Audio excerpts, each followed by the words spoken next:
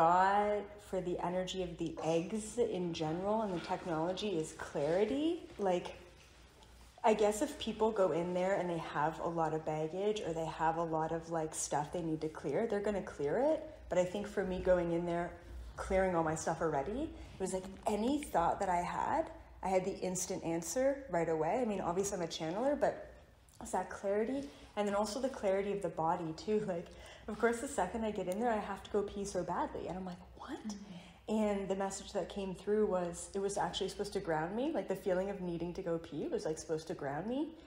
And there's always that anchor, you know, anytime I do this kind of stuff. So I'm like, all right, cool, I'll run with it. And but also like there was something about clearing the biological what did they call it? Um, yeah, I guess it, no, it was like the the physical body, clearing the physical body, and then all of the toxins in your body are like draining. Basically, I felt like my body, the toxins in my body draining out through the liquid, going into my bladder, right? So I had to pee right after. But anyway, yeah, there's so much. I first connected with the consciousness of the egg, of that egg. Mm-hmm. And literally, I called her a badass bitch. I'm like, you're a badass bitch. Like, uh huh. And she does have that queen. Have, okay. She has that queen energy, like yeah. so, like like a badass, like just yeah. so like. Yeah, I'm just here. Like it was just this like presence that she has, like so divine feminine. I also felt very. Um, she was like this one in particular really mirrors um, Mother Gaia's energy, mm. like so solid and but so like like quiet and confident in her solitude. And I said, and she told me that uh, I need to embody that more because I'm more of that divine masculine. And, and she's like, she's like, what, you don't think I'm strong? Because she was picking up on my like, my not wanting to connect with the divine feminine is like, oh, there's weakness there, right? So she's like, oh, what, you don't think I'm strong? And I'm like, no, I think you're really strong. She's like, but that's the divine feminine. It's like this like purity, but this strength as well. Um, I did also pick up on her in particular plant medicine, and it was Mother Aya for sure, like ayahuasca. Mm. Like once again, that very strong, like all knowing clarity, purging out the toxins, but that strong divine feminine energy.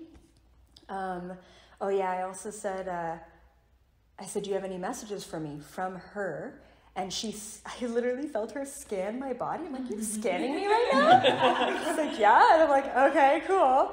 And uh, and so she, she scanned me and she saw what i was doing for humanity. And she she she like recognized that and she said she gave me an image. It's kind of hard to relay but she said you're very like this with what you're giving to humanity. And she's like you need to be like this and it's like the fan instead of being so direct and like reptilians just like fan it out a little bit.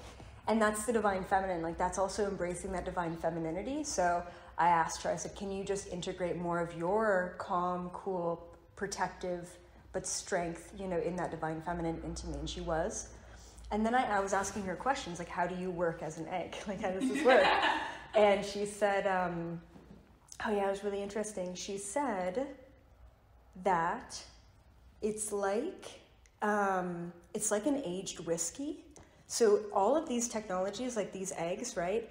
Uh, the more people that go into them, the more powerful and the more knowledgeable and the stronger they get, because it's so cool. It's like these eggs, they're very conscious, and I'll tell you all about the consciousness and where that comes from and all of that great stuff. But it's like they they it's like they observe human beings and all of our pitfalls and downfalls whether it be metaphysical physical emotional and they give us whatever the the gap is right? They give us what we need is the, these technologies but they're also like observing us at the same time. It's like a computer and every human being and there's something about the consciousness of the human completing the function of the system and so every human it gains access to more knowledge and wisdom, and then the next human that goes in, it it it uh, takes the knowledge and wisdom from all the other humans, and it gives it. It's like, oh, I know exactly what you need. I know exactly who you are. I know exactly. It just grows. Like it gets stronger and more intelligent. The more it's amazing. So it just gets better with age. Like it's really cool. And there was something specific about me being here oh yeah, to this place in particular with you, the inventor, and then the family as well.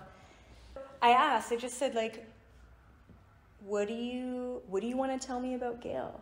Like, what do you what do you what what should I know about her? Like, or what does she need to know? And instantly, oh yeah, I got um, where the technology comes from. You're spot on. It's Sirius. I'm from Sirius, Sirius B, so I'm very resonant with that technology. Uh, it has been used by Pleiadians, It's used all over the place in the universe now on many different ships the technology itself has been used in ancient human history as well, but only elements, only ever fractals, only ever pieces of the, maybe it's the sound frequency, maybe it's the lighting, maybe it's the cocoon, you know, all these different elements, but never really fully put together on this planet.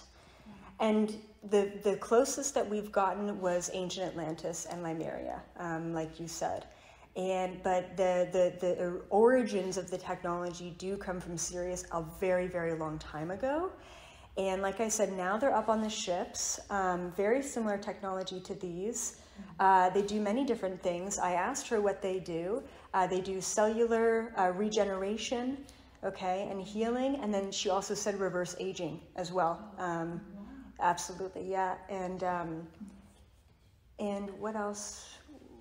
Uh, oh yeah, so back in Sirius, um, like I said, the Pleiadians use some sort of similar technology. And so then I asked, well, like, what, what does what does the inventor need to know? Because she brought down, she pulled in this information, and uh, instantly I got this beautiful image of this Sirian being, like um, kind of looking like a gray, but not the black eyes, like big eye, almost like big looking human eyes, big bulbous head, very tall, humanoid, just so beautiful, um, a Sirian. And right away I saw you in this image, and then the Sirian. and the Sirian touched your face and said, She needs to know that she's one of us, which I'm sure you already know that because you were chosen to bring this information down. But they also told me too that the, all the consciousness that embody the eggs, right, the technology, um, is Sirian consciousness. So only Sirian consciousness embodied the eggs. Um, oh yeah, it's so funny. I was talking to this Sirian who's who's my little egg, and and she was saying, and it resonated so deep because I'm like, oh yeah, I'm totally this kind of person too. She's like, us as Sirians, like we want to come to planet Earth, we want to give humanity what they need, but then we want to get out. Mm-hmm. And the key word was like zero responsibility. Mm-hmm. And like kind of like with your technology, it's like, look, I'm going to put this technology out there, but I don't have the responsibility to track how everyone is using it all, and I just have to trust, right?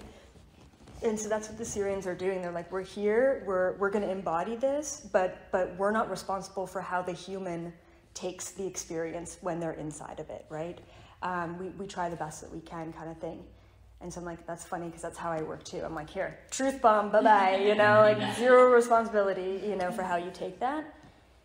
So also like the egg technology itself, they were talking about it was the Sirians who also brought in the plant medicine technology, and that's why this is uh, connected to the plant medicine because that's a technology from the Sirians, This is a technology from the Sirians, and the vibrations um, coincide. And they said that. Um, yeah, they were talking about the way that it worked. And uh, the egg is the technology itself, but once you invite the human consciousness into it, it's the full system that works. And once the human is in there, it creates a vortex. And when they were talking about the vortex energy, I like opened my eyes and I turned my head, and on the speaker, there's like a little like vortex. It looks like so. I'm like, oh my god!